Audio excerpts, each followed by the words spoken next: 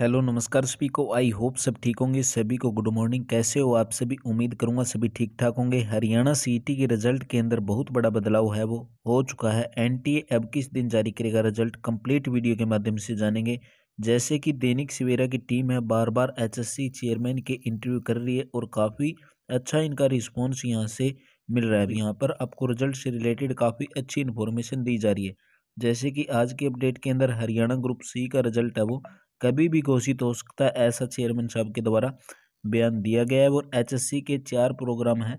वो एनटीए के अंदर दिन रात लगे हुए हैं। भी कंप्लीट वीडियो के माध्यम से जानेंगे। हरियाणा सरकार के ग्रुप सी पदों के लिए कॉमन एलिजिबिलिटी टेस्ट यानी कि सीईटी का परिणाम है। वो कभी भी घोषित हो सकता है। हरियाणा कर्मचारी चयन आयोग के चार प्रोग्राम यानी कि नेशनल टेस्टिंग एजेंसी के कार्यालय के अंदर दिन रात लगे हुए हैं और सामाजिक, आर्थिक इब की बार जो चेंजमेंट क्या हुआ है यानी कि सामाजिक आर्थिक मानदंड के चक्कर के अंदर रिज़ल्ट था, वो लेट हो चुका है। तो इसके अंदर जो लिखित परीक्षा के अंदर अंकों का जोड़ने वाला जो मामला था, वो लगभग सुलट गया है। दैनिक सवेरा की टीम ने वीरवार को हरियाणा कर्मचारी चयन आयोग के चेयरमैन से मीटिंग की थी। उन्होंने पूछा कि रिज़ल्ट कब तक आएगा? तो अध्यक्ष गोपाल सिंह कदरी ने बताया कि एनटीए अभी तक लिखित परीक्षा लेकर, यानी कि लिखित परीक्षा को लेकर उसका रिज़ल्ट निकालता था। अब की बार यानी कि पहली बार ऐसा हो रहा है कि हरियाणा कर्मचारी चयन आयोग की तरफ़ से दिए गए आदेश के अनुसार सामाजिक, आर्थिक मानदंड के अंक हैं। उनको जोड़कर वो परिणाम जारी करेगा। और अध्यक्ष ने बताया कि सामाजिक, आर्थिक मानदंड के अंक परी कैटेगरी अनुसार है और इन कैटेगरी की संख्या काफ़ी अधिक है, यानी कि काफ़ी कैटेगरी है और काफ़ी लोगों की संख्या अधिक है तो इस प्रकार है वो रिज़ल्ट के अंदर थोड़ी बहुत देरी हो सकती है, जबकि एनटी के प्रोग्रामर के द्वारा इस तरह का कार्य कभी किया नहीं था तो इस कारण से जो प्रॉब्लम थी उनको इंटरफेस करनी पड़ रही थी।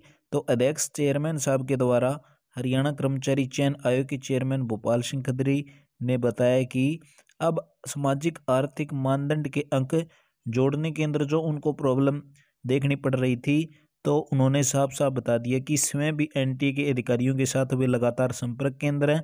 वो सारी की सारी प्रॉब्लम है अब लगभग दूर हो चुकी है और उन्होंने रिज़ल्ट के प्रति अपनी प्रक्रिया, प्रतिक्रिया क्या दी थी? रिज़ल्ट के प्रति उन्होंने बताया कि रिज़ल्ट है वो लगभग आपका तैयार हो चुका है, रिज़ल्ट कभी भी घोषित हो सकता है, मगर उन्होंने एक चीज़ साफ़ साफ़ यहाँ पे लिख दी।